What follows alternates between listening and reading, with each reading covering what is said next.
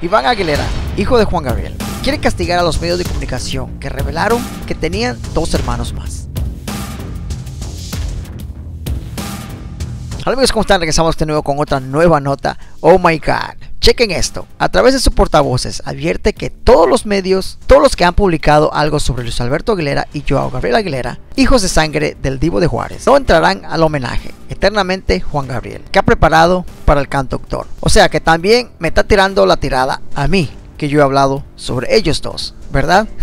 Supuestamente Iván Aguilera no le concederá más entrevistas a los medios de comunicación que hablaron de los hijos biológicos de Juan Gabriel. ¿Y quién dijo que yo lo quiero entrevistar a él? Iván Aguilera, hijo mayor y heredero universal, dio sus declaraciones que no concederá entrevistas a los programas de medios de comunicación que han publicado información sobre los hijos de sangre del Divo de Juárez, Luis Alberto y yo, Gabriel Aguilera.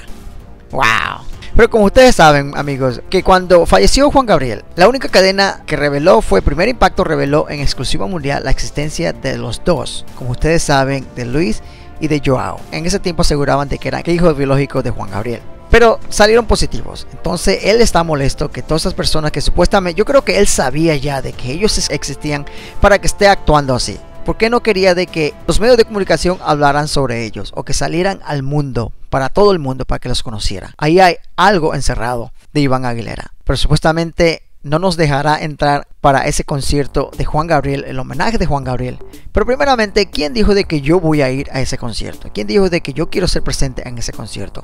Yo, nosotros le hacemos homenaje solamente hablando bien de ellos, escuchando la música, compartiendo la música, compartiendo notas positivas de todo eso. Ese es el homenaje que nosotros le hacemos a ellos porque fuimos fans, somos fans de ellos. Sí amigos, ¿qué es lo que piensan ustedes amigos? Si tú hablaste o publicaste algo de Luis Alberto Aguilera y yo, Gabriel Aguilera, ten cuidado porque no te van a dejar pasar. Yo no sé cómo que van a estar checando de que tú hablaste de ellos o no hablaste de ellos. O sea, cómo ellos van a saber cuando tú estés entrando a la puerta. Te van a parar ahí rapidito, te van a checar. Tú hablaste solo los dos hijos biológicos de Juan Gabriel. Tú no puedes entrar. Vete a la casa.